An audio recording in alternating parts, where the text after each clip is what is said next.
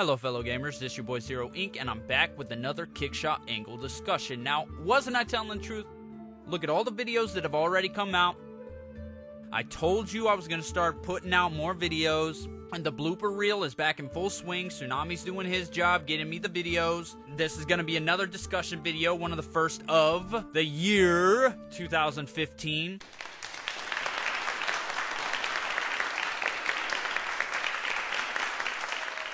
I'm planning on getting my new series, Platinum Grades, done. I got some more reviews for y'all. I'm only going to review games that I get to when I get to them. Thanks for checking me out. For all you people who haven't subscribed, go ahead and subscribe to my channel. I do a lot of different content. Sometimes it's going to be bloopers, sometimes it's going to be conversation pieces like a pundit, like a commentator. Other times it's going to be gameplay, reviews. I mean, we've got a lot of stuff coming out. But today's topic, I wanted to talk about Naughty Dog. And I wanted to say thank you, Naughty Dog. Thank you for finally saying what needed to be said. And it's funny because a lot of people are like, oh, they're already damage controlling. It's funny because whenever you want to do best for people, you're damage controlling. Just letting you know. It, it, that's what damage controlling means. Naughty Dog, if you don't know, came out and said, look, we're not going to push it to 1080p 60 FPS if it hinders the player experience.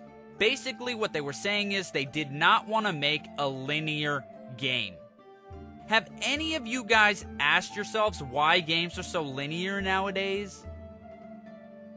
Now, if you look back to the PlayStation days, look at Tekken and then look at Final Fantasy. Tekken was way better graphically than Final Fantasy was. Final Fantasy, however, was much, much bigger, much, much longer, much fuller experience. To make a big immersive world, at 1080p 60 frames per second, you need a lot of memory. The more memory graphics take up, the less you can put into the games, the less length you can put into the campaign. A lot of developers having a big, big problem with this. How many games besides Alien Isolation and indie games have you gone over 10 hours worth of gameplay? Realistically, Last of Us was the last one on last gen that went over 10 hours.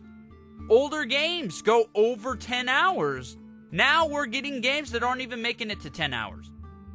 You want to pay 60 bucks? No, wait, never mind. Hold on, wait. You want to pay $80 because of the season? Don't forget the season pass now. Don't forget the DLCs. You want to pay 80 to $100 for a linear story that lasts you six hours?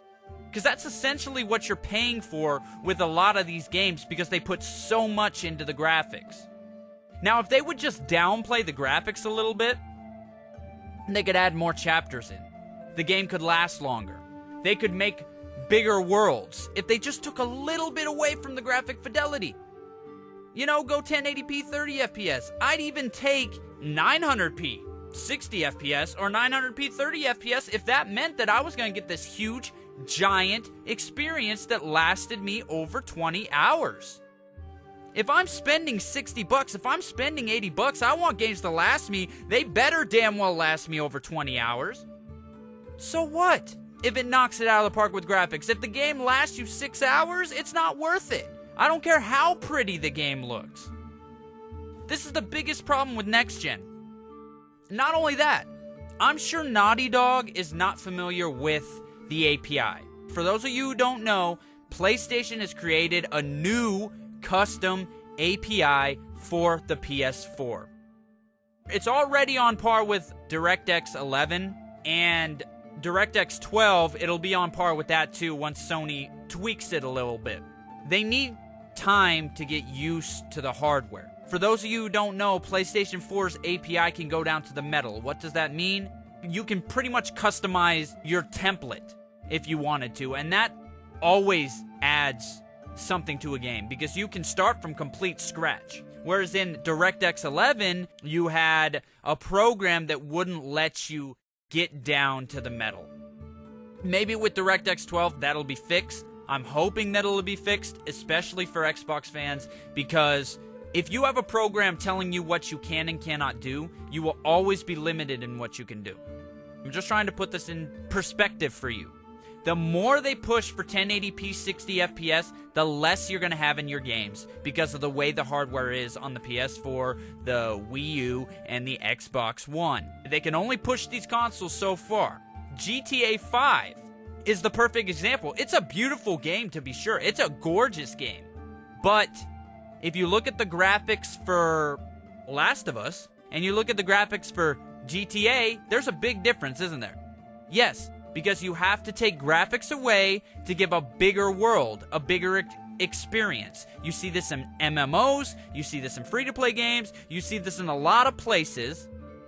They downgrade the graphics so they can give you a bigger experience. They don't downgrade it to the point where it's ugly to look at, but they downgrade it so that they can fit more memory in so that they can give you a longer, more immersive experience. Now, I believe this practice is the better practice. So I just wanted to come out and say that. Thank you, Naughty Dog, for saying it, for saying that you are not going to push it to the point where you fuck up this game. Here, let me give you a little bit of information, guys. The console itself can hit 1080p 60 FPS. However, that doesn't mean that everybody can hit that. If you don't know, Metro Redux is 1080p locked 60 frames per second on the PlayStation 4. So, it can be done. The creators of Metro showed you you can hit 1080p 60 FPS if you're willing to put in the effort. However, don't hit it if it means taking away from the gaming experience. I would rather have a 20 to 30 hour game than a 6 hour graphical masterpiece any day of the week. This has been Zero. Keep gaming, gamers, and I will see all of you next time.